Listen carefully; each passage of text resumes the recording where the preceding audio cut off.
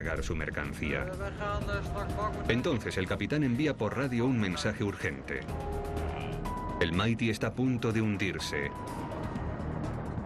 tal y como se supone que debe hacer. Este barco tiene la increíble facultad de llenarse de agua y hundir la cubierta dos pisos por debajo del nivel del mar para facilitar la descarga de la enorme plataforma que lleva.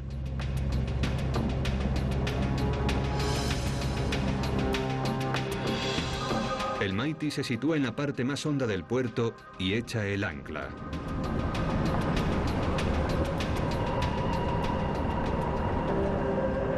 Y menudo ancla. Rotterdam es uno de los pocos puertos del mundo con profundidad suficiente para llevar a cabo este espectáculo. La teoría es muy sencilla. Hundir el barco lo suficiente para sacar la plataforma. Pero mover algo tan grande no es fácil.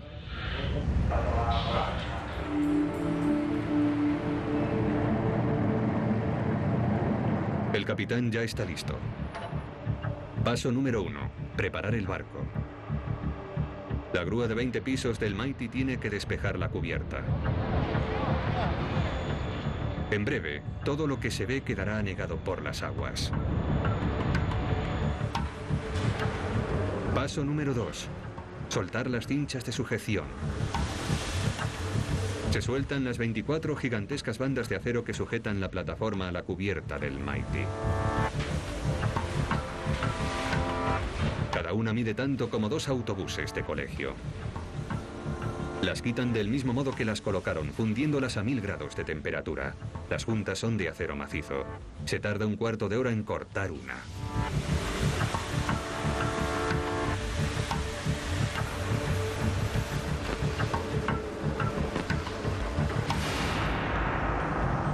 Paso número 3. Llenar el barco de agua. La tripulación se prepara para llenar estratégicamente los tanques de lastre del barco a lo largo de la noche y revertir el proceso que elevó la plataforma a la cubierta. El capitán abre el vientre del Mighty a las gélidas aguas del Mar del Norte. Comienza el hundimiento.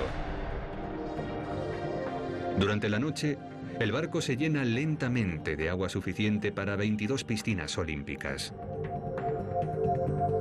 Pero el capitán no puede hundir el barco de forma regular porque se volvería demasiado inestable. Primero hay que hundir la popa del Mighty, después la proa, hasta que la quilla descienda 21 metros. La tripulación se enfrenta a una larga noche de trabajo. A la mañana siguiente la plataforma debería flotar libremente, pero una vez que se le quitan las cinchas de sujeción es muy vulnerable.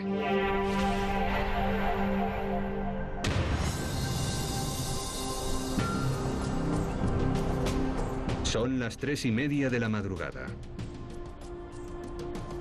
Fuera del puerto, el megaprofundo Berge Stahl navega el último trecho de mar abierto a la espera de que la pleamar le permita entrar en el puerto.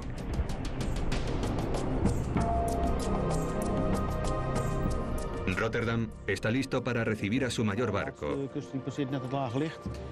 Y el Stahl está listo para entrar. Helicopter will be ready above your ship at 0430, so it's ETA rendezvous 0430. El capitán ha conducido el buque sano y salvo hasta el umbral del Eurocanal, la entrada del puerto de Rotterdam. Pero su maestría no le permite ir más allá.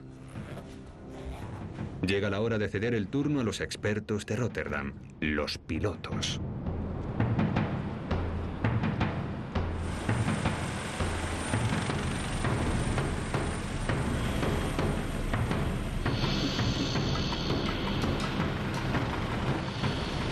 La mejor forma de abordar un barco del tamaño de un pueblo en mitad de una noche oscura es en helicóptero. Una vez a bordo en la cubierta abierta, pasan por unas escaleras, suben siete pisos en un ascensor, se cambian de ropa y llegan al puente del capitán.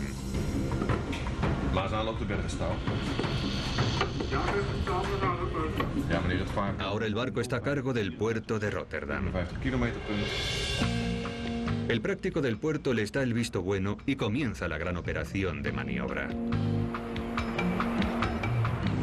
Para mover un barco grande como una montaña, es necesaria una hélice a su altura. Esta tiene 9,5 metros de diámetro. Más de cinco hombres, uno encima de otro. Para reproducir la increíble potencia de estas aspas se necesitarían más de cuatro submarinos. Pero ahora la tarea de los pilotos consiste en restringir la potencia del barco. Ha llegado la gran prueba. Atravesar la entrada del puerto. ¿Encallará o será capaz de atravesar estos bajíos?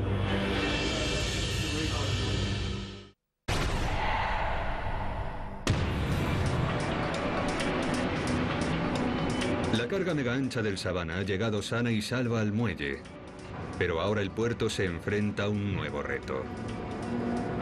¿Cómo se descarga uno de los mayores cargueros de contenedores en menos de 24 horas?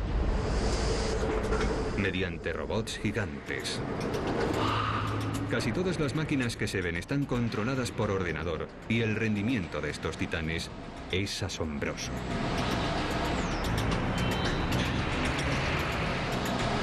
Si se ponen en fila, los contenedores que pasan por Rotterdam en un año podrían dar la vuelta al mundo. Este mar de músculo industrial es la Terminal Delta. Para que el Sabana llegue a tiempo a su siguiente puerto, los esbirros de metal pesado de Delta tienen que manipular la carga muy deprisa.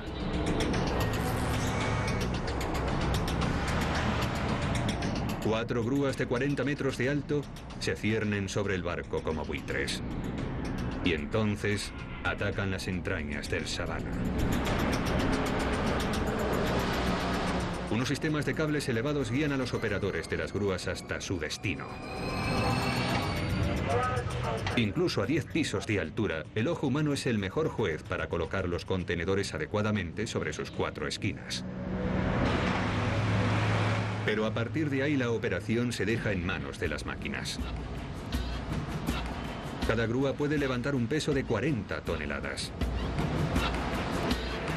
Abajo les espera un carro de contenedores. Es un vehículo guiado automáticamente que tiene mente propia. No lleva conductor porque dispone de un sistema de navegación a bordo que regula su posición, dirección e incluso velocidad a través de una rejilla magnética instalada en el asfalto.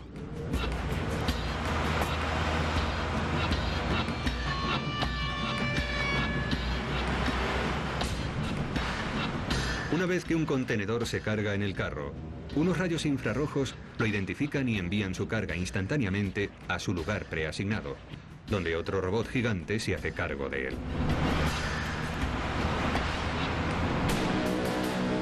Se trata de la grúa de apilamiento. Una mega máquina de cinco pisos de altura que puede agarrar, subir y bajar un peso equivalente al de cinco autobuses escolares.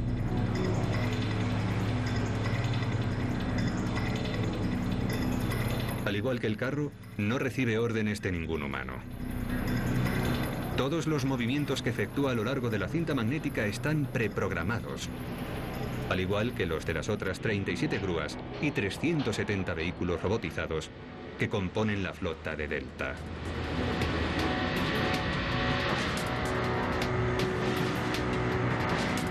Casi 4 millones de contenedores pasan al año por esta terminal.